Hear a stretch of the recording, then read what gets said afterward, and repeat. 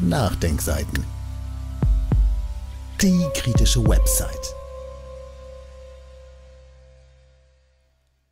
Ein 74 Jahre alter Deutscher wirbt auf Fahrradtour in Russland für Frieden und Verständigung.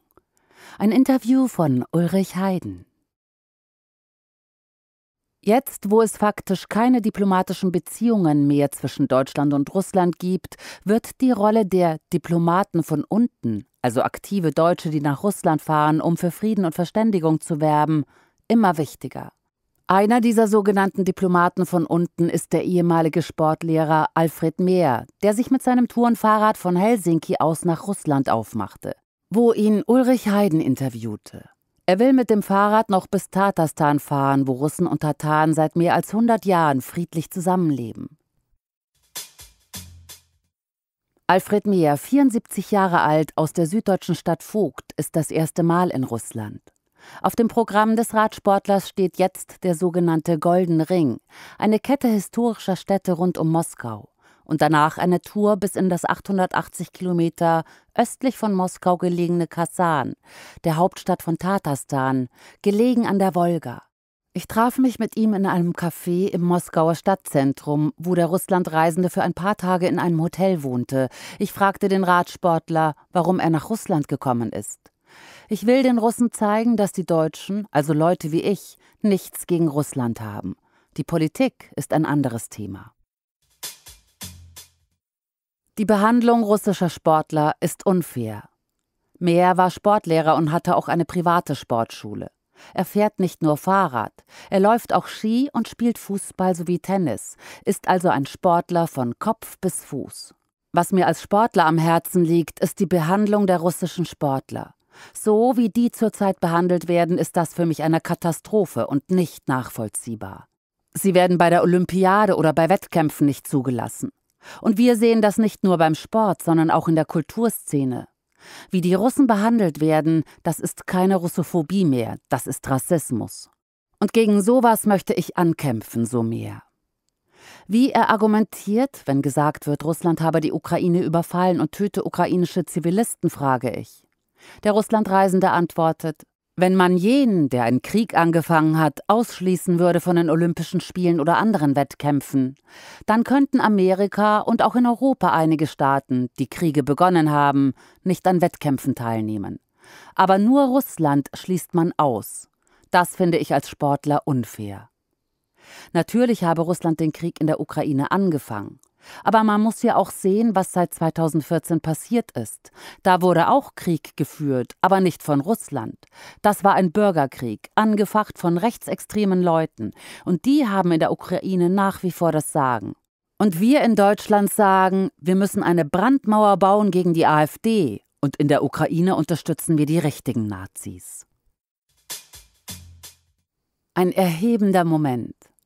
Nie hatte ich gedacht, dass man mit dem Fahrrad auf den Roten Platz fahren kann, und zwar ziemlich entspannt, sagt Alfred Mehr aus der süddeutschen Stadt Vogt, als wir zu zweit auf Fahrrädern in Richtung Kreml unterwegs waren. Am Roten Platz angekommen, frage ich den Radler, wie er sich gerade fühlt. Das ist ein erhebender Moment. Der gleiche Moment, wie wenn man nach 4000 Kilometern in Panama über die Brücke fährt oder letztes Jahr nach 4000 Kilometern über die Brücke in Vancouver. Mehr hat in den letzten Jahren mit dem Fahrrad ausgedehnte Touren durch Alaska, Kanada und Südamerika gemacht. Nun wollte er unbedingt noch Russland besuchen. Früher gab es ja den eisernen Vorhang, der es nicht möglich gemacht hat, nach Russland zu kommen. Jetzt befürchte ich leider, dass es auch eine Art eisernen Vorhang geben wird und keine Reisen mehr nach Russland möglich sein werden. Das wäre sehr schade. In Petersburg hat Mehr unter sachkundiger Führung einer Russin eine sechsstündige Stadtbesichtigung gemacht, die ihm ziemlich in die Beine ging. Langes Laufen ist er nicht gewohnt, aber Fahrradfahren ist für ihn kein Problem. Spezielle Route über die Dörfer. Von St. Petersburg ist er dann auf einer speziellen verkehrsarmen Route durch Dörfer fast bis nach Moskau gefahren. Die Route, die im Schrifttext an dieser Stelle verlinkt ist, wurde von dem deutschen Detlef Kaden konzipiert. Man kann entlang dieser Route auch bei Gastfamilien, sogenannten Homestays, unterkommen. Die letzten 200 Kilometer nach Moskau hat der deutsche Radler ein Angebot angenommen und sein Fahrrad in einen Minibus gepackt, der bis nach Moskau fährt. Der Grund war, dass die letzten 200 Kilometer auf der Route auch von vielen Kieslastern benutzt werden, welche Moskauer Baustellen beliefern und nicht besonders rücksichtsvoll gegenüber Fahrradfahrern sind. Das Interesse russischer Medien an der Tour von Alfred Mehr ist enorm. An dieser Stelle ist im Schrifttext ein Interview verlinkt, welches Mehr in Veliki Novgorod, einem örtlichen Fernsehkanal, gab. Das große Interesse russischer Medien hängt wohl damit zusammen, dass die Zahl der westlichen Touristen in den letzten Jahren stark abgenommen hat. Noch vor St. Petersburg wurde ich von Zeitungen und Fernsehsendern angesprochen. Ich weiß nicht, woher die von meiner Fahrt wussten. Vielleicht hatte Nathalie aus Ulm, welche meine Reise mitorganisiert hat, die Medien informiert. Neben Nathalie hilft auch noch Elena aus St. Petersburg bei der Organisation der Tour. Die Organisatorinnen assistierten auch bei der Beschaffung einer russischen Kreditkarte, denn westliche Karten werden in Russland seit letztem Jahr nicht mehr akzeptiert. Alfred, du bist mein Held. Auf die Frage, wie er auf die Idee für die Russlandreise gekommen ist, antwortet Mehr, dass er Radfreunde habe, die von ihren Russlandtouren erzählten und begeistert waren. Eigentlich wollte ich die Russlandtour schon vor drei Jahren machen. Aber dann kam Corona dazwischen und eine Anreise über das Land war damals nicht möglich. Als ich mich dann felsenfest entschlossen hatte, die Reise zu machen, kam die russische Intervention in der Ukraine dazwischen. Und dann habe ich wieder Mut gefasst. Und mit 74 Jahren kann man so eine Reise nicht unendlich schieben.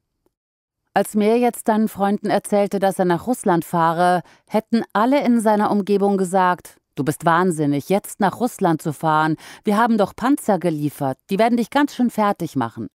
In Deutschland wird es ja bei manchen auch so wahrgenommen, dass wir mit Russland im Krieg sind. Wir liefern ja Waffen und bilden für den Krieg Leute aus. Einer hat sogar gesagt, pass auf, dass sie dich nicht als Geisel nehmen. Aber es gab auch andere Reaktionen. Ich war ja Lehrer und ein Lehrerkollege hat jetzt meine Internetseite gesehen und hat mir einen ganz kurzen Kommentar geschrieben. Alfred, Du bist mein Held. Das baut auf und schafft Kraft für die nächsten Kilometer. Sanktionen. Welche Auswirkungen? Ich fragte den Russlandreisenden, wie er die Versorgungslage in Russland einschätzt. Ich weiß nicht, wie es vor den Sanktionen war, aber ich sehe keine Einschränkungen irgendwelcher Art. Man kann alles kaufen. Die Leute verhalten sich ganz normal. Einschränkungen gibt es meines Erachtens keine. Ich habe sogar ein Spatenbier getrunken. Ich weiß natürlich nicht, ob das aus Deutschland kam oder in Russland gemacht wurde. Seine Frau habe Angst gehabt, als er ihr von seinen Russlandplänen erzählte. Sie fragte, willst du das unbedingt machen? Wir haben dann einen Kompromiss gefunden. Sie sagte, du fährst nicht allein. Schau, dass du jemanden dabei hast. Auf der Strecke bis Moskau seien die geplanten russischen Begleiter alle abgesprungen, erzählte der Russlandreisende. Doch er rechnet damit, dass er auf seiner nächsten Tour auf dem Goldenen Ring, das sind kleine historische Dörfer und Städte rund um Moskau, von Anton Sasonow, dem Vorsitzenden des Verbandes Velorussia, begleitet wird. Für die Strecke von Moskau nach Kasan hat sich Ildius Janischew angekündigt. Janischew ist ein bekannter russischer Radsportler, der mit dem Zweirad schon einmal die Welt umrundet hat. Der Stadt- und Landunterschied. Alfred erzählt, dass es zwischen Stadt und Land in Russland große Unterschiede gibt. In den kleinen Dörfern sähe man vor allem die alten Holzhäuser. Die sind großteils verlassen, einige sind restauriert.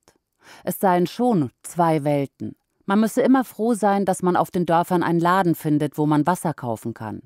Ein sogenanntes Magazin gäbe es eigentlich in jedem Ort. Aber einmal gab es Probleme. Ich hatte nur noch ein paar Tropfen Wasser. Es war eine Ortschaft in Salutsche. Ich fuhr durch die ganze Ortschaft. Irgendwann habe ich dann dort das Magazin gefunden.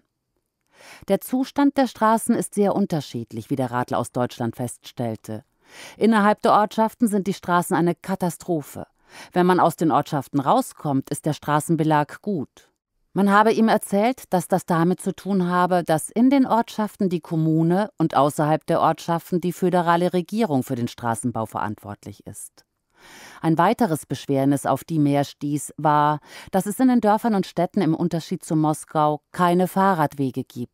Man müsse auf den Fußgängerwegen fahren. Die Fußgänger nehmen das gelassen, aber weil die Fußwege hohe Kanten haben, müsse man bei Verlassen des Fußgängerweges vom Fahrrad absteigen. Wenn du das in einer Stadt 20 bis 30 Mal machen musst, dann ist das nervig. Der Vater kämpfte auf Kreta. Ich fragte mehr, ob sein Vater im Krieg in Russland gekämpft hat. Nein, mein Vater war von Beruf Zimmermann, er war Fallschirmjäger und ist über Kreta abgesprungen. Dann war er in Frankreich. Dort wurde er schwer an der Brust verwundet. Damit war der Krieg für ihn beendet. Ob er mit seinem Vater über den Krieg gesprochen habe, wollte ich wissen. Ja, ich habe mit ihm darüber gesprochen, aber im Nachhinein muss ich sagen, viel zu wenig. Es war damals so, viele wollten vom Krieg nichts mehr wissen und haben das beiseite geschoben. Ich weiß, dass mein Vater gerne mehr erzählt hätte, aber es hat ihm damals niemand zugehört. Ob er Angst gehabt habe, seinen Vater nach den Kriegserlebnissen zu fragen? Ich hatte schon eine gewisse Angst, ihn zu fragen. Ich war zu dem Zeitpunkt nicht neugierig genug. Er hat auch ein Tagebuch über den Einsatz in Kreta geschrieben. Es ist in altdeutscher Schrift, das hat mir jemand übersetzt. Das habe ich dann immer wieder gelesen. Und als mein Vater tot war, habe ich eigentlich erst das Ganze begriffen, was er mitgemacht hat. Was war der stärkste Eindruck beim Lesen des Tagebuches? Ich denke, dass er gern zum Militär ging. Er ging mit Enthusiasmus in den Krieg, wurde dann aber doch mit der Zeit eines anderen belehrt, dass das nicht ganz so einfach ist. Es ging ihm wie vielen anderen Soldaten damals. Irgendwie hatten sie psychisch einen Knacks. Sie sind nicht damit fertig geworden, anderen Menschen den Tod zu bringen und zu sehen, wie die Kameraden links und rechts erschossen wurden. Das kann ein Mensch nicht so einfach verdauen. Sechs Massengräber auf einer Strecke von 60 Kilometern. Ich fragte den Reisenden, ob er während seiner Tour an seinen Vater denkt. Meer antwortete, er denke an seinen Vater jetzt mehr als sonst. Das hängt auch mit den Massengräbern zusammen, deren Schilder er im Vorbeifahren zwischen St. Petersburg und Moskau gesehen habe. Das war im Raum Demjansk, wo im Zweiten Weltkrieg eine Hauptkampflinie war. Ein Mann hat mich dort 60 Kilometer mit seinem Bus Richtung Moskau mitgenommen, weil die Strecke wegen vieler Löcher mit dem Fahrrad unbefahrbar war. Und auf diesen 60 Kilometern gab es sechs Hinweisschilder Mass War Grave, Massengräber. Ich habe mich gefragt, was denkt Sergei, mein Fahrer, jetzt? Es sind ja auch viele russische Soldaten und Zivilisten ums Leben gekommen in der Region. Nun hat er 80 Jahre später einen Deutschen bei sich im Auto sitzen. Die Deutschen haben damals den Krieg gebracht. Und ich habe gedacht, ist es nicht toll, dass es sich nach dem Krieg so entwickelt hat, dass ein Russe, der etwas jünger war als ich, innerhalb weniger Stunden mein Freund wurde? Wir hatten ein tolles Gespräch. Er hat relativ gut Englisch gesprochen. Hätte doch allen Grund gehabt zu sagen, mit einem Deutschen fahre ich doch nicht durch diese Gegend. In Kanada und Alaska vom Campingplatz verwiesen. Die Begegnung mit den einfachen Russen hat den Radler aus Deutschland beeindruckt. Nach 14 Tagen in Russland möchte ich ein Zwischenfazit ziehen. Die Russen, die ich bisher kennengelernt habe, waren sowas von gastfreundlich und hilfsbereit, wie ich es in keinem anderen Land bisher so erlebt habe. In Alaska und Kanada sei er mehrmals von Campingplätzen abgewiesen worden. So musste Meer mit seinem Kompagnon in der freien Wildbahn schlafen, obwohl dort wilde Tiere unterwegs waren. Es wäre genug Platz gewesen, aber wir durften das Zelt nicht aufstellen. Das kann ich mich hier in Russland nicht vorstellen. Quellenangaben und weiterführende Verlinkungen finden Sie auf www.nachdenkseiten.de oder im Beschreibungstext unter dem YouTube-Podcast. Dieses Audio konnte nur entstehen, weil zahlreiche Leser und Leserinnen die Nachdenkseiten fördern und durch Spenden unterstützen. Wenn Sie auch etwas tun wollen, klicken Sie einfach den entsprechenden Button auf unserer Website an. Übrigens, Sie können uns auch bei iTunes, SoundCloud und YouTube hören und wenn Sie mögen, gerne unseren Kanal abonnieren und eine positive Bewertung für uns abgeben. Wir freuen uns über Ihre Unterstützung und die Weiterverbreitung unserer Inhalte.